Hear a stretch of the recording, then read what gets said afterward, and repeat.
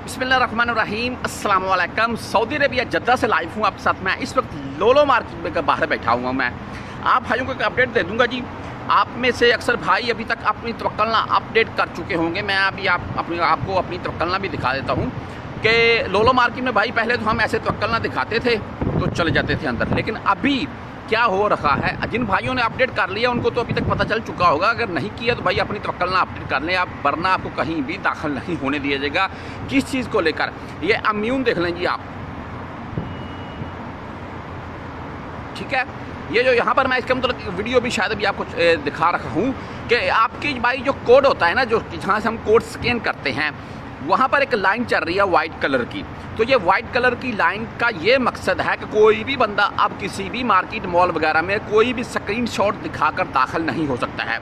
उसको लाजम ये दिखानी होगी, ये लाइन का मकसद ये है कि जो गेट कीपर यानी कि सिक्योरिटी गार्ड है, वो ये देखता है कि ये बिल्कुल ना इसकी खुली हुई है, खुद से वो यानी कि जैसे कि हरकत कर रही है। तो फिर आपको अंदर जाने दिया जाएगा। मुझको भी उसने रोका, फिर मैंने अपनी तवक्लना अपडेट की है। मेरी तवक्लना अपडेट होने के बाद ये लाइन गर्दश कर रही मैंने खुद से देखी है।